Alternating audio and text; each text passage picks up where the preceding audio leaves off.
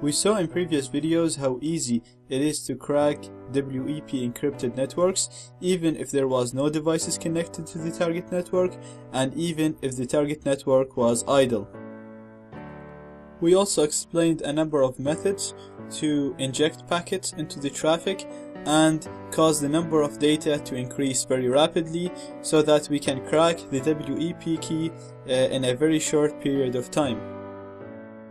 Now in the next few tutorials we're, we're to talk about WPA encryption.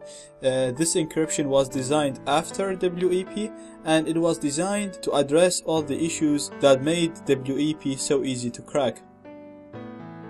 The main issue with WEP was the short initialization vector which is sent as plain text in each packet.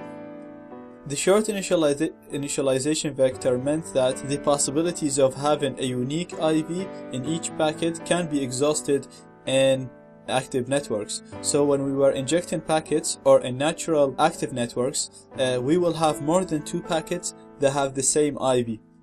When this happens, AirCrack-NG can use statistical attacks to determine the key stream and then determine the WEP key.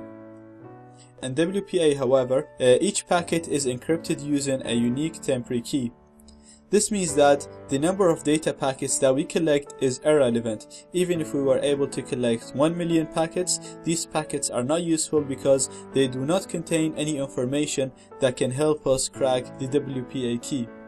Now I'm talking about WPA, but it's the WPA2 is the same. It works by the same method, and uh, it can be cracked using the same methods. The only difference between WPA and WPA2 is that WPA2 uses an algorithm called CCMP for encryption. Click here for the next video and click here for the previous video or go to description for the video link. A link was provided in the description below for all of my other videos on cracking Wi-Fi passwords. Please like this video and thank you for watching.